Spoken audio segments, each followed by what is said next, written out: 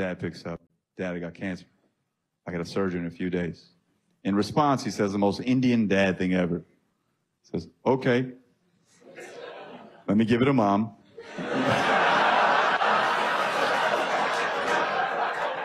mom picks up, mom, I got cancer. I got a surgery in a few days. Cancer? Stop drinking. That'll do it. He was named one of Vulture's comedians you should know, you should and will know in 2023. He will also be featured in the Netflix series Verified Stand Up later this month. And you can uh, now catch former SNL writer Nimesh Patel at the Chicago Theater this weekend. He joins us live. Thanks for being with us. Good with morning. us. Uh, good morning. Thanks for having me. So, give us uh, some other uh, Indian mom uh, advice uh, hacks that you've gotten over the years. Is, is it very distinctive? Does she like what you do? Uh, my mom is uh, a, a 1,000% supporter of everything that I do. She's been in my corner since day one. Uh, but she's, I've realized uh, that all of my anxieties are because of my mom's superstitions.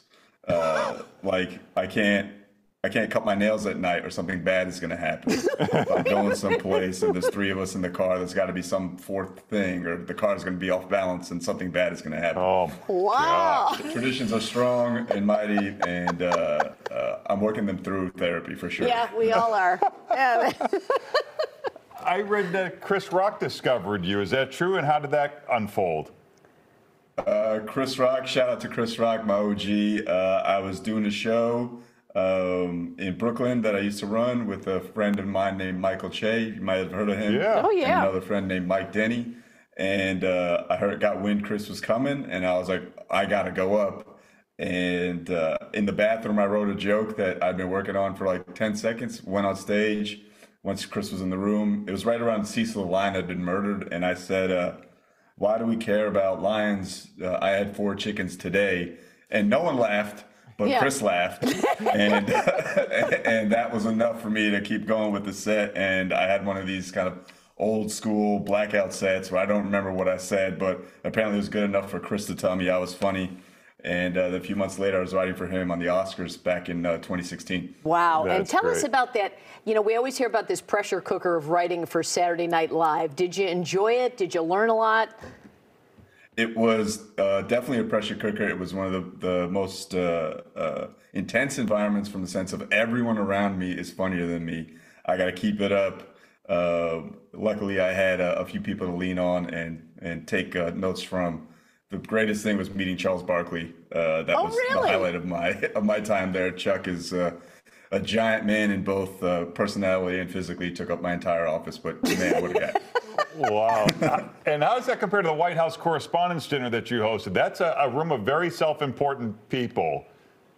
Oh, I was a, I was a writer for that for Hasan Minhaj when he did that in 2017, which was I think his star-making turn. Um, and that was one of those. Who cares about all these people? No disrespect to the to, to you guys. Uh, Yeah. The press is a very None important taken. part of uh, of American uh, discourse. But in that moment, this is the first year of uh, Trump's presidency, and it was our turn to uh, take some barbs at him when he had spent you know his entire campaign taking barbs at brown people. So you're welcome, Donald Trump. So, what kind of stuff will people see at uh, at your show this weekend at the Chicago Theater? You have commentary about just random stuff. I think like elevator rides, asking women their age, kind of stuff uh, like that. You know, I'm addicted to social media. Um, I think we all are. I think uh, everyone knows it's an addiction. It's like cigarettes in the 50s, you know, like everyone's doing it. Yeah. So no one realizes it's killing us. but I guarantee you 10 years from now, as commercials like, I used to Instagram three times a day. You know, I guarantee you, like, that's a, lar- a large portion of the show is talking about uh, my own vices, uh, anger issues, and then I'm not ignorant to what's going on in the world right now. And uh, I definitely have some takes on that, but those are probably uh, better left for the stage rather than uh, a morning show. Yeah, yeah. Gosh, uh, well, uh, it's a pleasure to meet you. You can catch uh, Nimesh this Friday at the Chicago Theater, as mentioned. For tickets and information, go to chicagotheater.com. You can also see him in the Netflix series Verified Stand Up that premieres later this month. And uh, social media, that's how you find him. It's right there on your screen. Thanks so much for joining Thank us. Thank you. Thank you so much for having me. Chicago, I'll see you Friday night. Friday All night. right. All right, thank you.